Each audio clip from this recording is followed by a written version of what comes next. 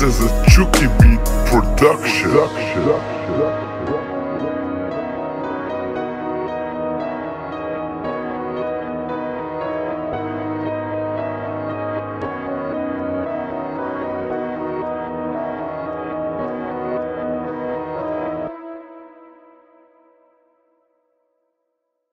Yan, so malapit na po siyang matapos.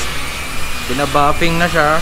Tapos, next is yung mga black. Pipinturahan yung mga black parts. So, lahat. Ito. So, ayaw ko yung flat black na kulay kasi namumuti. Tulad nito, namumuti siya. So, ang kulay na dapat dito is yung ganito. Yung gloss na black. Yan, ganito dapat yung kulay dito sa gilid para hindi siya mamumuti. Yan. Konting-konti na lang.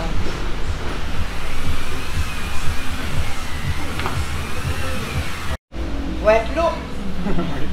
Wet lock na, maulan eh. Oo, wet look na, wet look. Maganda yan kapag maitim pa yung mga itim yan. Oo, kung napiturahan na yung tip na yan. Buhay na buhay na yan. Namumuti pa eh.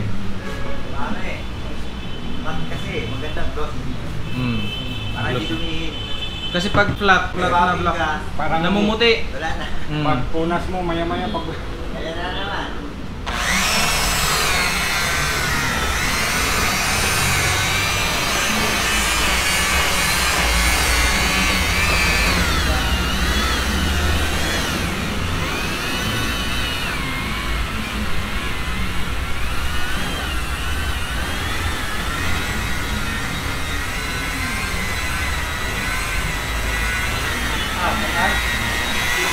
Perfect na yung kulay natin. Makinis na.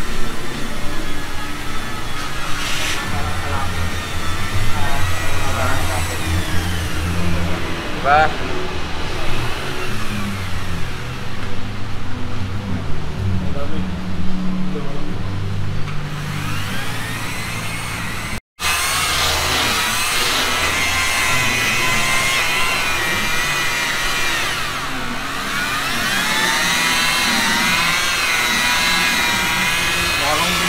Bumper nito.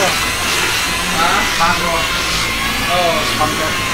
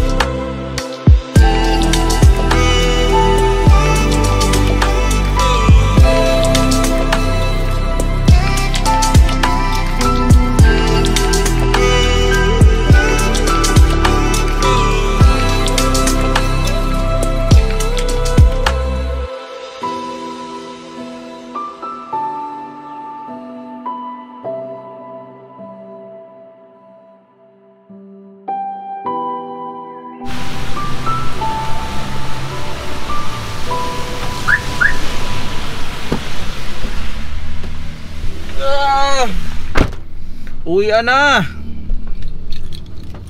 Bukas matapos na yung Fortuner guys. Ilalabas na natin siya bukas. So, thank you Jensai Auto sa pag-paint kay 40. So, bukas kita-kits tayo. Kita-kits bukas. So, yan, napakakintab na. So, ang ginawa ngayon, nag-buffing. Nag-buffing siya tapos next nun is ifo-foam na siya. wax, tapos yun. Doon nalalabas yung kintab niya. Okay? So guys, hanggang dito lang yung ating vlog. Don't forget to like, comment, share, and subscribe!